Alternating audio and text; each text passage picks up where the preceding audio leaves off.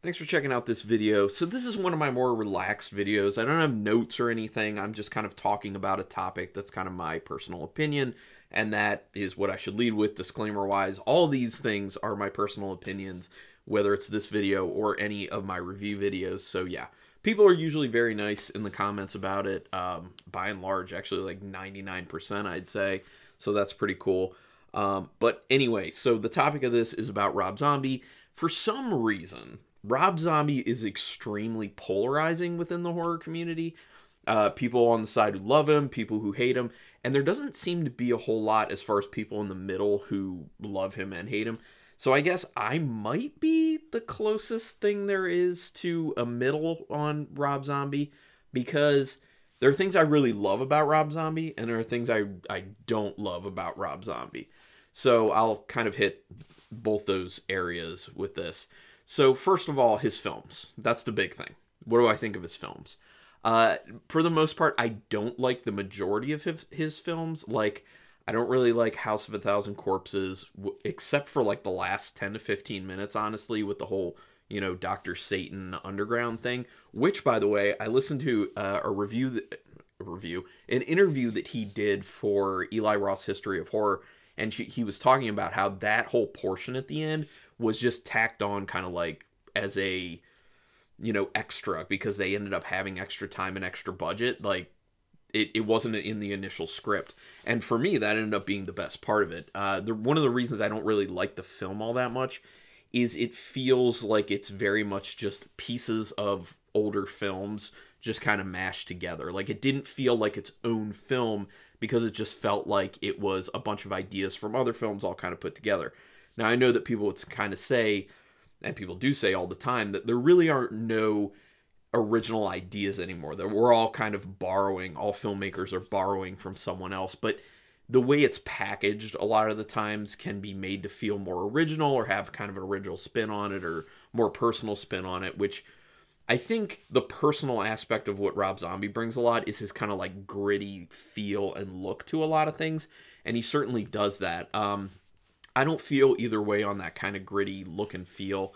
Uh, I think he executes it well for what he's going for, but I just his stories typically for me are too simplistic for what I enjoy a lot of the times, and like I said, it just seems like he's taking pieces of a bunch of other films and just kind of throwing them together. So that's on display in House of Thousand Corpses, and I also think like Three from Hell, but like a lot of people say, I do think that Devil's Rejects is one of his favorite. It's one of his. I think it is one of his favorites, but it's one of his best films by far. Uh, it looks really good. It's well executed. I think writing wise, it may be his best or one of his best. Um, so I do like that. Don't. I tried watching his Halloween remake, the first one, and I should probably go back and try and finish it out and do the second one just because. But I started watching it and I bailed 20 minutes in because I just didn't I didn't like it. I didn't like where it was going. I didn't like the composition of it, but that's why I say I should probably go back. So I can't have like a full on opinion on that. Uh, I do actually own his animated film he did, El Super Beasto, which I actually think is pretty fun. And it's it's crude. It's like a fun crude uh, that I enjoy. Um, I mean, I'm reviewing a lot of Giallo films, so I, I enjoy like a fun crude a lot of the time. Um, so I would recommend that for people like animated stuff. I think he did a pretty solid job with that, keeping it fun. Uh, I will say that Lords of Salem, I really do like Lords of Salem. I think personally it's the most beautiful thing he's ever shot. I think it actually has a lot of style to it. And I think that's one of the big things is when I saw it, it really struck me as whoa, this is a different Rob Zombie. This is a very different Rob Zombie. Now, it did still have what I was talking about with things like House of a Thousand Corpses, where he's taking pieces from other films, but it did feel like his own. And it felt like he kind of brought it all together and wrapped it all up in a really interesting way. One of the other big things is the acting of Sheri Moon Zombie was very restrained. It was very low key and it fit a really interesting character in the film. And that's one of the other things is he puts Sheri Moon in everything that he does. And I don't necessarily have a problem with people working with people they know or people they trust, which from what I've heard from Rob Zombie, he likes to work with people that he likes and trusts, and that's why you end up seeing a lot of the same people. Plus, I think that from what I know and what I've heard, a lot of the people who end up working with him actually really like him and like the way he operates, so they're more than willing to come back and keep working with him, so it's a good relationship there. And he does seem like he's probably a pretty nice guy in real life.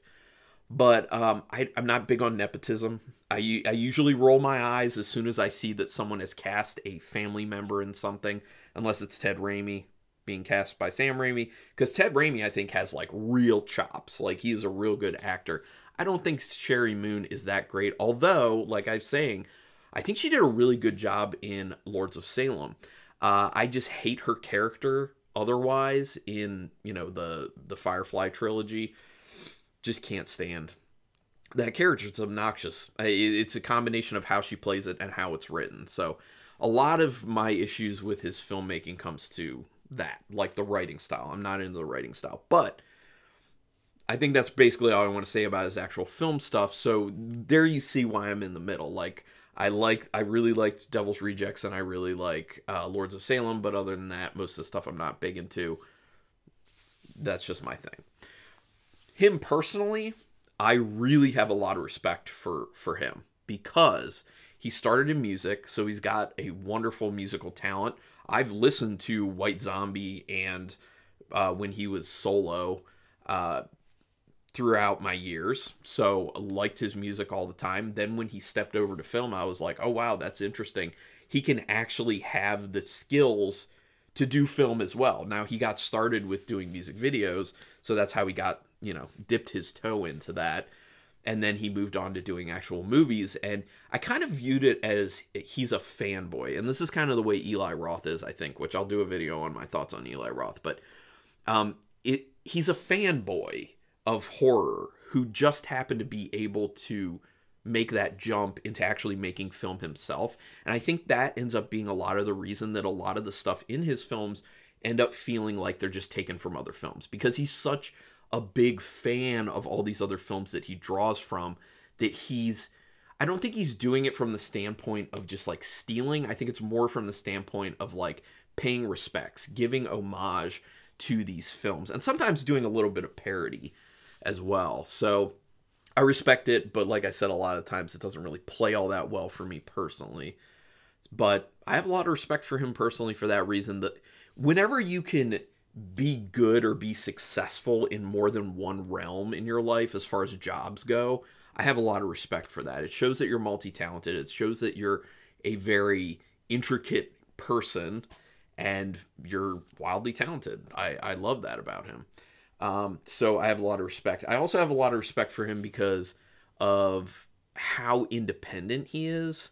And I've listened to interviews with him where he talks about how he operates with making films and he just wants to do things his way.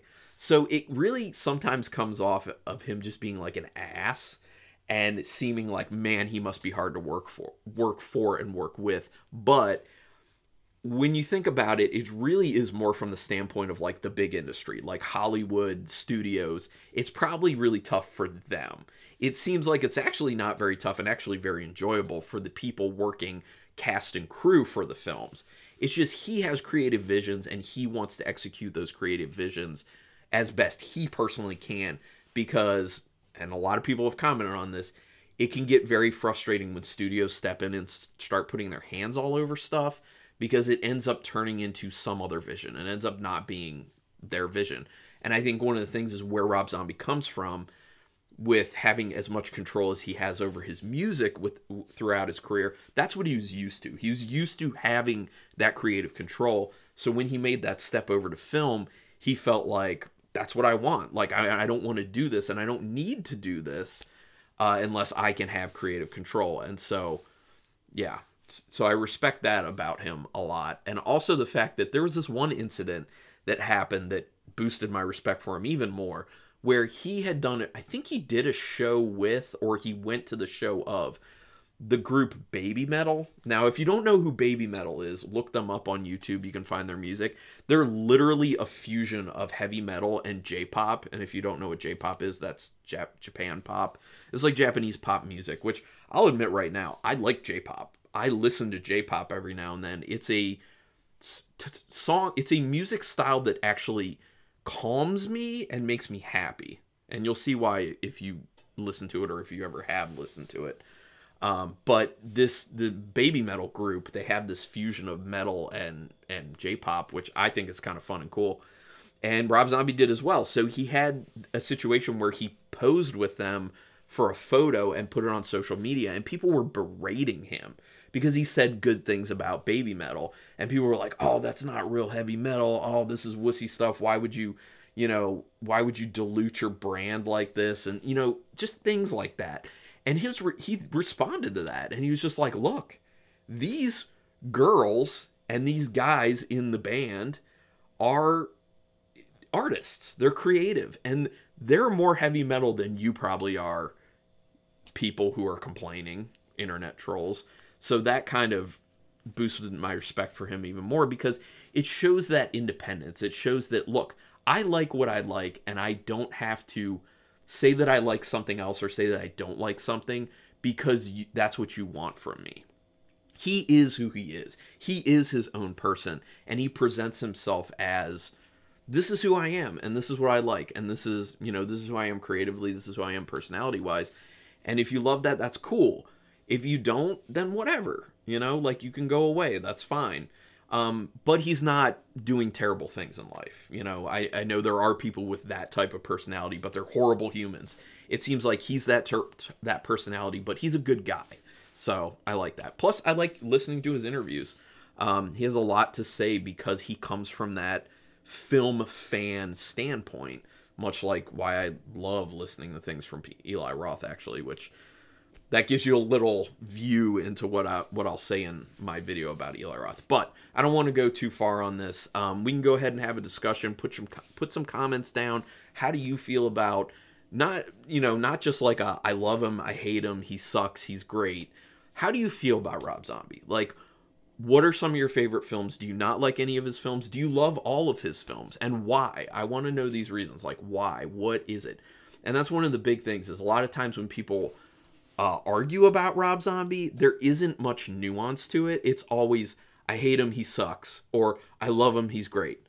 Well, tell me why he's great. Tell me why you love him. And tell me why you don't like him. You know, don't just say he sucks. Like, give some actual criticism. Say, I don't like his films because they don't connect with me because blah, blah, blah. You know, like, be a smarter person. You can't just say, I hate something, I love something, and expect people to respect you it's a very idiotic thing to just leave a base emotion as your response for certain things because people aren't going to respond to that well. They really are not. It just doesn't land well. But just saying. Anyway, but put your comments down there. I'd love to talk to you about, you know, go back and forth on, you know, your thoughts because maybe there are aspects of, of his films that I don't appreciate that through telling me how you appreciate them, that could kind of change my view on it. That happens. That's another thing. I'm an adult. And I have no problem with changing my view on things if I see logic in it. Or if I if I, you know, someone points something out that gives me that aha moment. I'm open to it. And we all should be. But anyway, thank you for checking this out. Do me a favor, hit the subscribe button if you like this video or any video I've ever done. Uh, that's your way to repay me. Because um, not like making money. I'm just trying to build a nerdy horror community here so we can talk nerdy horror stuff. But would appreciate that. Also hit the notification bell button because then that way you'll know when I'm putting up new videos, which is usually four, at least four a week. Um, yeah, but regardless, I appreciate you taking your time to watch this. Until next time, keep it brutal.